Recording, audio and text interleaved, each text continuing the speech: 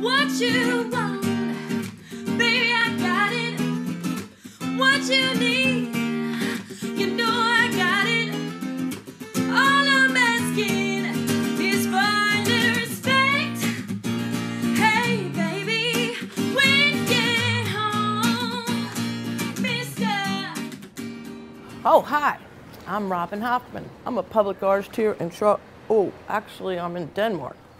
And some people want to know what's a public artist. Well, a public artist could be somebody who needs to do a project, and it's usually in the public. And in this instance, I am working on um, trying to figure out. First of all, I'm here in Denmark, and here we have uh, this wonderful um, statue, which has got sort of like a history to it. And it's interesting because, you know, I'm trying to figure out how I'm going to do this next project. And that's always, uh, for an artist, you have to sort of do a historical, uh, what they call a deconstruction of like why certain things work in the public, like how images work in the public and that sort of thing. And for me, um, I traveled to Denmark and about 30 years ago, and I really, really loved Denmark. But what I didn't realize was why this statue was so fantastic. Like it, of all the things in, in Denmark, it was so beautiful. Um, the people there, and it's supposed to be like the happiest city uh, uh, in all the world, and um, you know. And then they had this statue, which all the tourists need to see. And I'm like, why do people need to see it?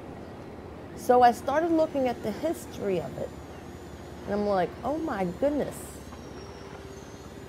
So what happened is Hans Christian Andersen wrote this story, and then the person who um, finally was commissioned to do um, the mermaid herself uh, um, was an artist uh, who was commissioned um, about uh, 19, I think it was 1909. Um, and at that moment, you know, it's a time in history, right? So there's a certain type of mentality, I should say, of the way people think about women, the way people think about men, the way people think about who's in charge, all of that. Anyway, so.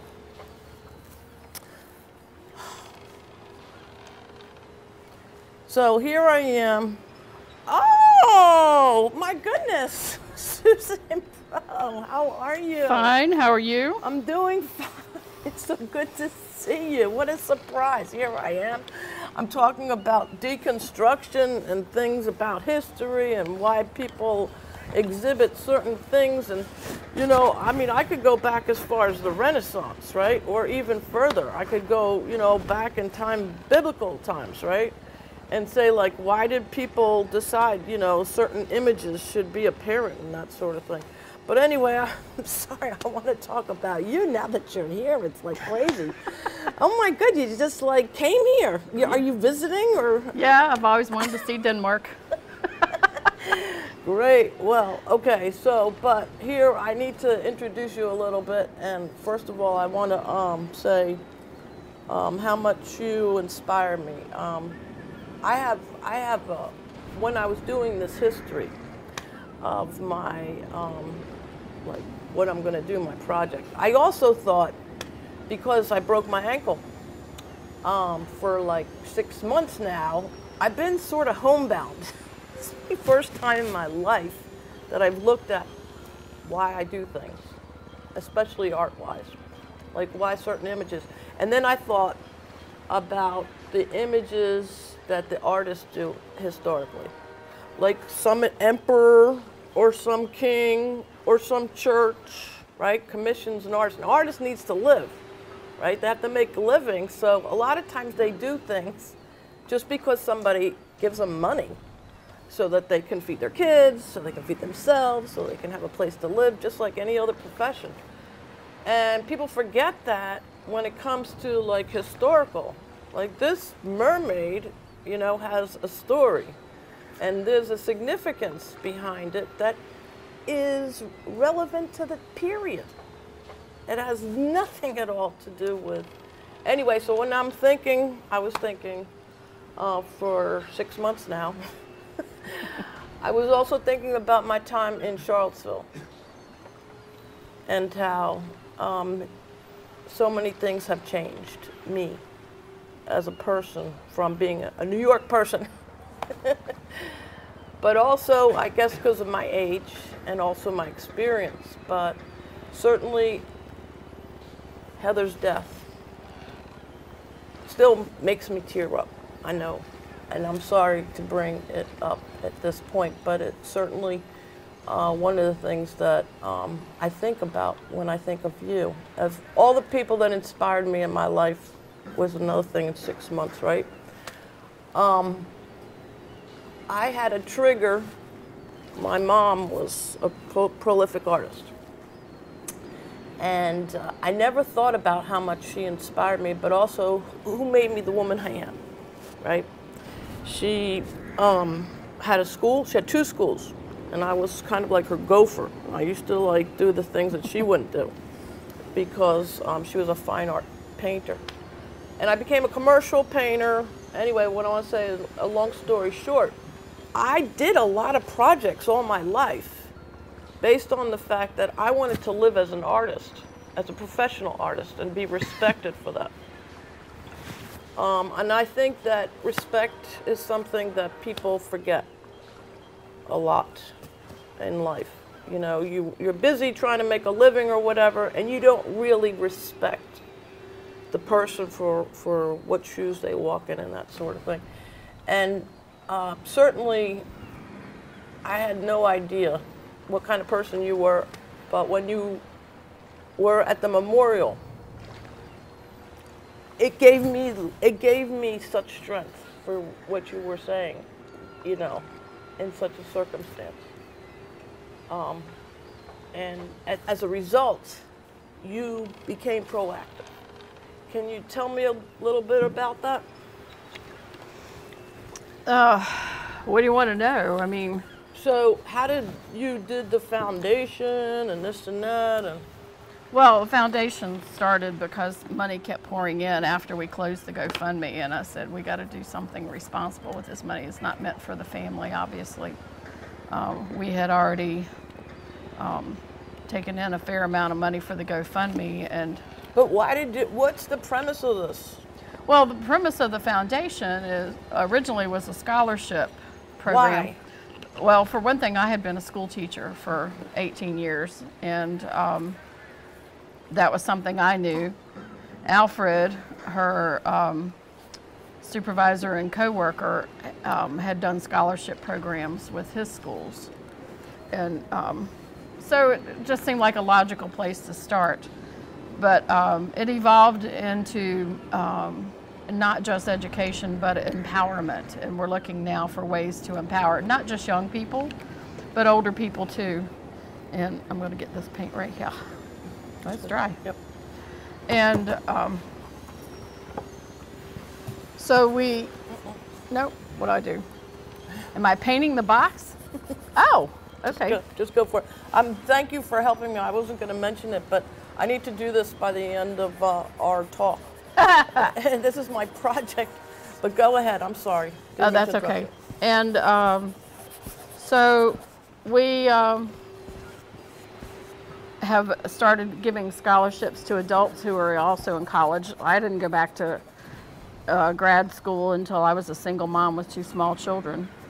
And I know that a lot of people go back to college later in life, either start college or go to grad school. So we offer that scholarship as well as the local high school scholarships. And um, the, the scholarships go to people who are activists, who have already demonstrated uh, themselves to be activists. And um, we want to support their education. We feel like knowledge is power. And so we're supporting that. But we're also uh, looking at other ways to empower people. So one thing we've done is work with a, a company, uh, another nonprofit called The Sum, who works on helping people change from the inside out. How do I clean my brush? Oh, is this water? Yeah, here. All right, is this you can just water-based paint? off, yeah. Okay. Because I got, I wanted to go to yellow next. Sorry. No, you're fun. I mean, fine. Um, so, but anyway, so yeah. So here's the thing. I mean, I'm also like an educator kind of person, Yeah. and so in my life, I I realized that um, like as you proceed right in life, Yeah. that you realize that people there's key things that people will say, experience, or whatever that you will talk about for the rest of your career, so to speak. Like you will you will use that energy or whatever worked as part of your lesson plan, as part of the way you proceed in, in giving people the benefit of learning how to learn yeah. right? And Right. so I think what you're doing is amazing because, first of all, you're giving people a focus on something positive. You know, this is a horrible thing uh, that happened, and but it's also uh, why did it happen? You know, I mean, Well, the why is important, and sadly, I don't feel like, a, I mean, Charlottesville is loaded with nonprofits, but I'm really not seeing a lot of change happen. I see a lot of us talking about change. I'm not seeing a lot of change happen, and it's not that no change is happening, but one of the key issues we have, in, and I apologize for saying we because I don't actually live in Charlottesville. Um, is uh, gentrification and not lack of affordable housing. I mean, when you have apartments listed at 2132 a month, I, I don't, I don't know what kind of wage they think people are going to make in order to get that. You can't live, you can't get wage to do that. You have to be salary. So, so you're kicking poor people out of the city, but where are they supposed to go? Right. Here's the thing, though. What, what I mean by your focus on education Okay. is that it gives people choices. As an educator, you know that. Like, if you don't know historically where a statue comes from, Right. You're going to make a choice based on the fact that you don't belong to anything. You know, you most likely will, you know, um, listen to people that have an easy way out of your misery if you have misery or whatever. Yeah. And they promise you all these wonderful things like a hotel in the middle of the desert or whatever. um, but what I'm saying is that focus is what I saw in you from the big, the very first time I met you, and then every time I saw you after that, is that you um, you understand what's important, and it's because your your intelligence is built on self, you know, involvement into why, why, why. Well, I was always brought up to think in terms of why, what caused this. But the other thing is, I have always viewed uh, the job as a teacher, and I do view myself as a teacher. I come from a long line of teachers. Um, is that you take in the information that's there, and then if people don't already have that information, it's because it's not been presented to them in a way that they understand, or it's just not been presented to them. So my job then is to present that information back in a way that's digestible. So I, I, I view it as taking in the information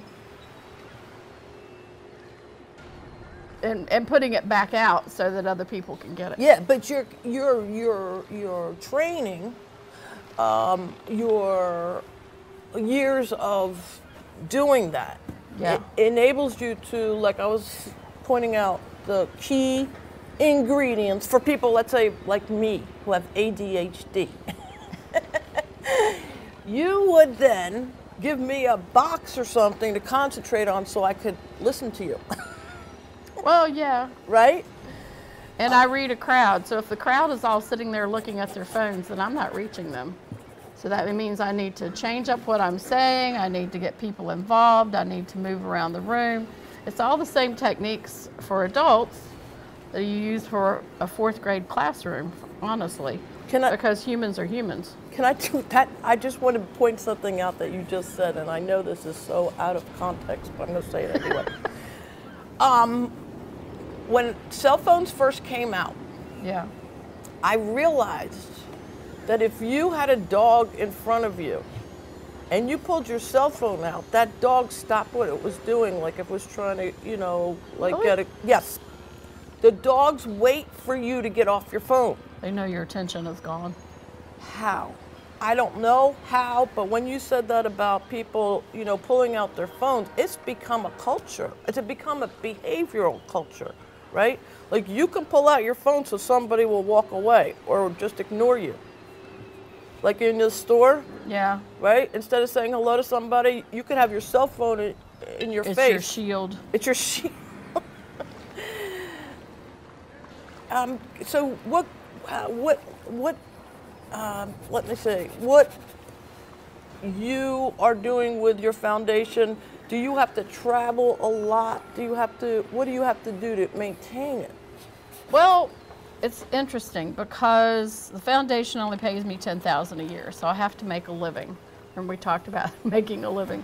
Yes. And so some of the time I'm traveling to speak so that I get paid.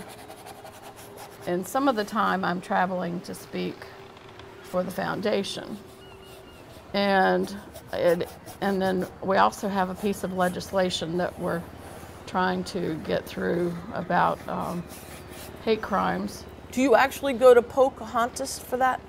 Pocahontas? I mean, uh, I think I'm saying it wrong. Like in Richmond, where the No, I'm. This is the national level. No, we're going to D.C.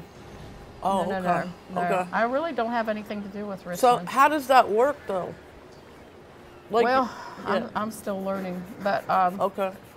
I get called in to do press events and things, and um, talk to people and confer with people. Next week, I'm going to an art installation actually in DC. Really, you should take me. I'll be quiet. Uh, No, but seriously, um, so the art installation is is like part of a. It's it's part of the leadership conference, and I don't Oh. even know where it is yet. They haven't told Now, me. Now, by the way, they do that a lot here for the Virginia Fine Arts Museum in Richmond. Yeah. I've been to conferences where they close the museum, and then they put like you know they have us have lunch there, and then, you know, after the conference you get to walk around. Yeah, Yeah, so it's really lovely because, like, I think what we're doing here is we're relaxed, right? We're more I'm playing. exactly. Are you on three sides yet?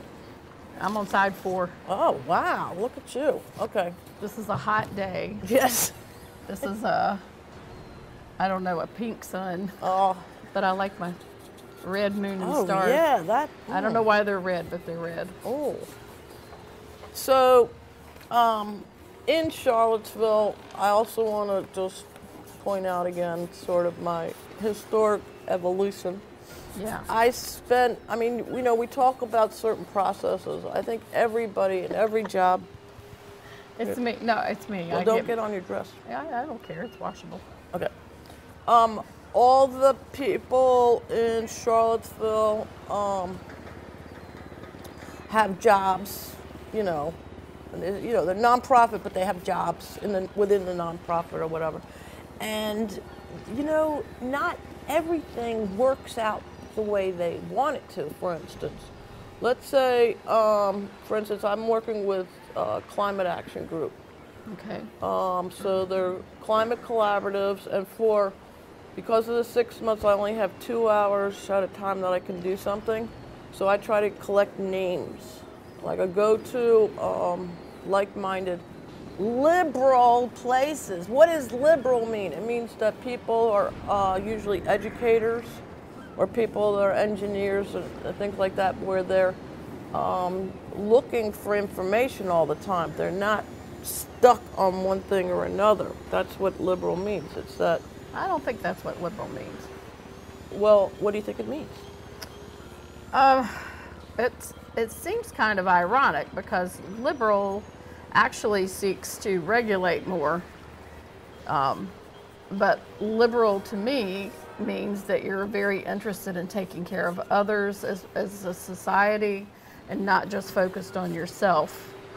And um, how can I make brown? I make blue mountains. And um, being conservative seems to me to be more that you're concerned about yourself and your family and you, what belongs to you and less about taking care of others. That's really interesting because that's a definition that has to do with a lifestyle, right? But actually, um, My mountains suck. it depends, I think, also on the individual. Like, say, when you talk about conservative, right? Yeah. Um, I know people in my family, for instance, they elect that for raising their family. I mean, my relatives. Right. Um, but at the same time, we're a family of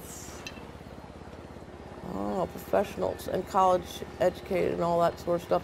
I think that the liberal thing is to me more that they um, are willing to change, they're willing to be interracial uh, or inter uh, ethnic, ethnically different, um, um, that they're not worried about that there's a finite outcome. Right. So So, isn't I, I that see liberal? that we're not contradicting one another. We're saying the same thing in a different way. Okay. So for me, liberal is uh, moving outward to a sense of other, where conservative is moving more inward to a sense of self and what's for me and mine. I need more yellow in this moon. I don't like a red moon. So, um, yes, I understand. Absolutely. And agree. Well, you don't have to agree. Well, It's not required. Well, yeah, it's not. It's a for me also. Yes, nothing is uh, one thing or another. It's always like this gray area or this in between type of stuff. But um, when it comes to the statue in Denmark that was placed here in 1909. Yeah. What was the significance? So the significance, finally. I'm glad you asked. No. The significance finally is that this was really about a story about a mermaid who, if she didn't go and marry a prince, or oh, she, she wanted, the, the real story is not the Disney story. See, the Disney story is a whole different story. Yeah, I read the book a long time ago. Oh my goodness. So here is this mermaid who says, you know, she wants to uh, be human because that's the only way she can marry this prince. Now, Right. what happened was she went into the water. Oh, yeah, the prince crashed and drowned almost in the water. She saved. She saved him. Yeah. She brought him to life, whatever. He went back and he was like on the ship or whatever. And then she was like, I love this guy. And then she was like, um, t- talking to her grandma. And her grandma said, You know, you, uh, as a mermaid, you'll live 300 years. Right. As a mermaid, you're gonna have, um, you're gonna, um, you don't have a, a real soul, okay? When you die, you're gonna be foam. you're gonna turn into sea foam, whatever that means. You're gonna just, like disappear, and then there's not gonna be anything left of you. But if you become a human, That's speciest. Yeah, that's what it is. Okay, so, but if you become a human, you're going to die physically, and then you're going to have a soul. But um, in the meantime, while you're a mermaid, you're going to have a lot of pain in your feet, and you're going to um, She got that part right. Sorry, go ahead. sorry, I'm getting it really bad. No, I Do you remember it? Do you remember the story? oh, not those details, but I said, no, she got that part right about the feet hurting. The feet hurt a lot. Oh, okay. So Anyway, um. So anyway, ultimately, she decides. The mermaid decides, I really love this prince. I'm going to sacrifice myself, and I'm going to do this. And so, she, um, in fact, meets him. He says he's going to marry her and all that sort of stuff. Finally, and then in the end, forget what happens. In I don't remember. When I At read it, I was like 10 years he- old. he doesn't marry her. He, he has to marry somebody else. Probably some princess. Yeah, some princess. And then and then she dies. A human death or something. And then like she's in the wood or something. Or no, her sisters come and they save her. And they make As a her human? yeah, as a human, they make her into a mermaid again or something. She had like another chance or something like that. Yeah. Okay, but the whole thing was mythologically at that time, and this is what I gathered from the story that I read, is that um, first of all, there was a patriarchy, right? There was like this idea that you live as a woman for your man, you live as a woman to give birth. You you don't Are you talking about the story as written or this, the within the context of yeah, that reality? yeah. I think because it was 1909, Yeah. Right? And Well, that and the fact see that a lot of stories with that bent even today, yes, which irritates the fool out of me. yes, exactly what I was thinking about in significance of why any artist makes anything permanent or makes, um, you know, a statue.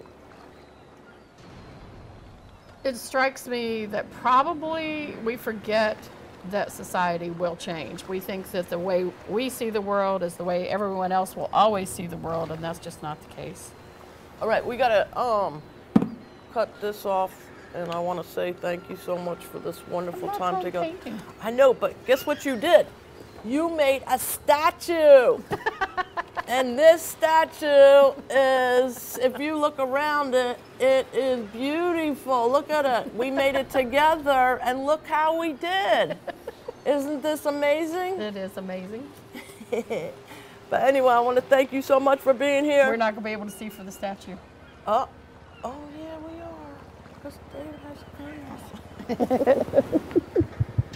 okay, so now we're gonna um. Hopefully, I didn't get paint on you. Oh yeah, probably. So now we're gonna um go this way and we're gonna jump off the water. Do you want me to put this in the water? Oh no, it's gonna be fine. okay, let's jump. Wait, wait, wait. We can use our aprons too. No, I don't want to use my apron. It'll drown me. Okay. You jump first. Okay. There we go. Ready? Put your arms out. Oh.